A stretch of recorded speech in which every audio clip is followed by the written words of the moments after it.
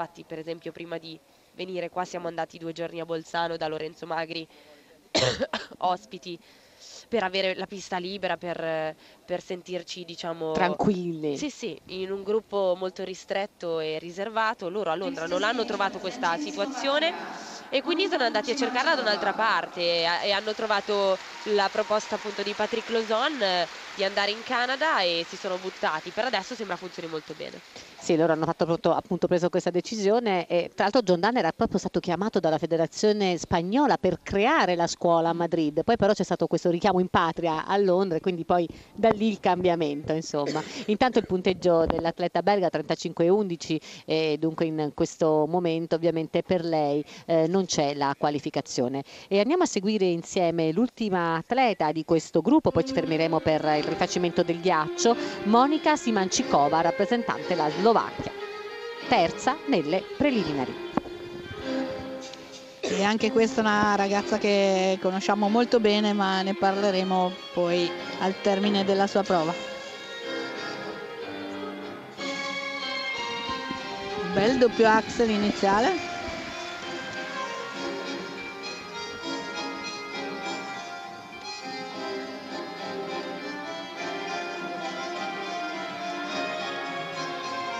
Triplo flip, giretto su un piede doppio tolup, ancora buona la combinazione.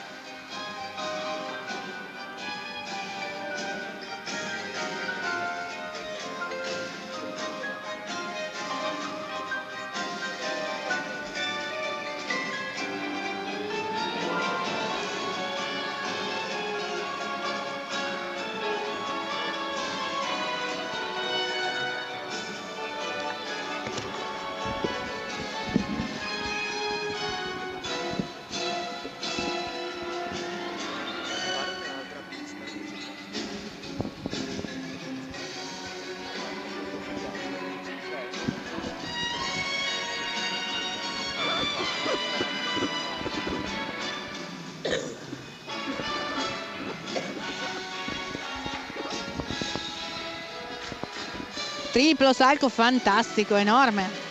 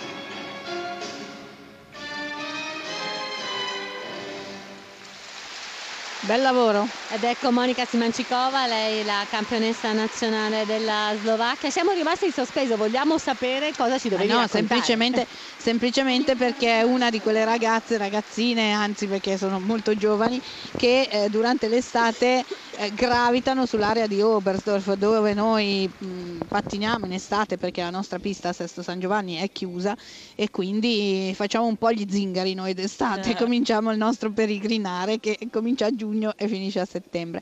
E normalmente almeno un mese lo passiamo a Oberstdorf che è un centro eh, dove si allena Carolina ovviamente, eh, dove veramente tutto è perfetto e funziona perfettamente per il pattinaggio come diceva prima Stefano. Ed è importantissimo. Ed è importantissimo, questo, no? il ghiaccio è sempre perfetto, preciso, gli orari sono precisi, ce ne sono infiniti, puoi pattinare dalla mattina alle 6 alla mezzanotte e quindi tutte queste ragazzine bene o male girano di lì in estate e lei particolarmente pattina anche con Karel Pfeiffer con il quale noi spesso facciamo squadra e quindi fa un po' parte del, del gruppo anche lei. Ecco.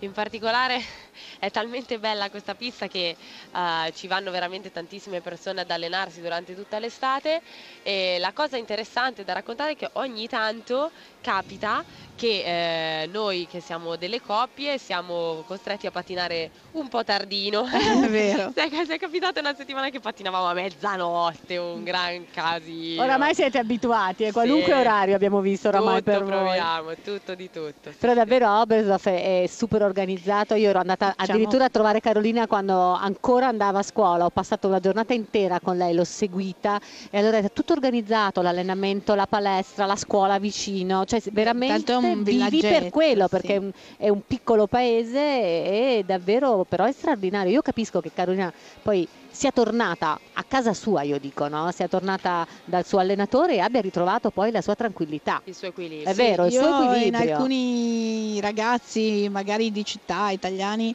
dopo un po' si annoiano un po'.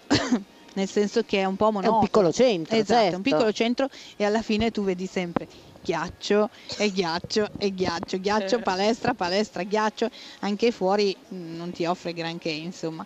E mm, noto che mm, certe volte per alcuni ragazzini dopo un po' di tempo diventa monotono, però sicuramente ci sono le, le condizioni migliori per pattinare, in Europa è senz'altro forse il miglior centro io credo tre Come piste. Bisogna dire qui della... ci sono delle gran belle condizioni per pattinare, diciamo, ricordiamolo qui a Sheffield, organizzatissimo. Stamattina detto dal tassista mi diceva noi abbiamo tutti i siti olimpici, noi viviamo per lo sport e siamo contenti di ospitare questi campionati di certo. pattinaggio, ma si vede dall'atmosfera che si vive in città. Ed eccolo il punteggio 46 e 39 per eh, Monica Simancicova, dunque eh, sicuramente un ottimo risultato perché la porta in eh, prima posizione. Season best. Quindi è importantissimo per lei aver ottenuto ovviamente eh, questa situazione.